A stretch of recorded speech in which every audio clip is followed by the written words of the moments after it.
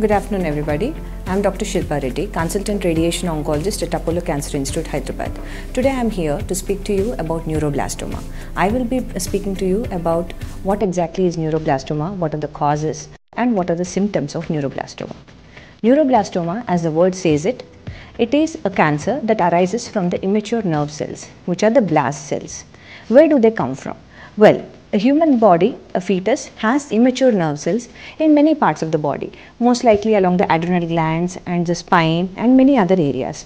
Now, these immature nerve cells gradually they develop and become mature and they form into nerve cells. When these neuroblasts do not mature and they remain in that immature state and they abnormally divide, that is when these become a neuroblastoma, which is a pediatric cancer. Neuroblastoma is a pediatric cancer which is most commonly seen in 5 years and below age group. It can be seen in a bit of adult children also. Now, what is the exact cause for this neuroblastoma? Unfortunately, majority of the neuroblastomas cause behind is unknown. So, few of the uh, neuroblastomas, a very small percentage of them, having said that, they have a bit of familial inheritance, but that is the only documented other risk factor you can look at. Now let us discuss about what are the symptoms of neuroblastoma. As we know that neuroblastoma likely arises from adrenal glands which are the small glands which sit on the top of the kidney.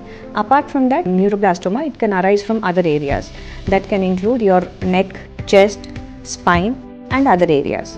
The symptoms of a neuroblastoma depends upon where the tumor is actually arising from. If it is arising from the abdomen, the child would have complaints like abdominal pain, bloating, and uh, if it is arising from the chest there would be wheezing chest pain difficulty in breathing. If it is arising from the spine there can be spine problems there can be cord compression.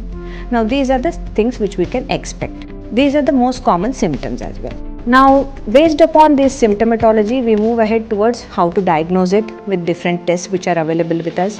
And accordingly we would stage the patient and risk stratify the patient. And that's how the treatment modality would start.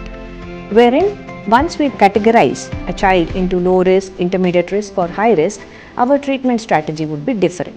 Most common option would be surgery first. When surgery, a debulking surgery is properly done, then based upon the risk stratification, the child would go for any need of adjuvant chemotherapy or radiation therapy. So this is in short about neuroblastoma, how it arises, what are the most common causes and risk factors and the symptomatology. Thank you.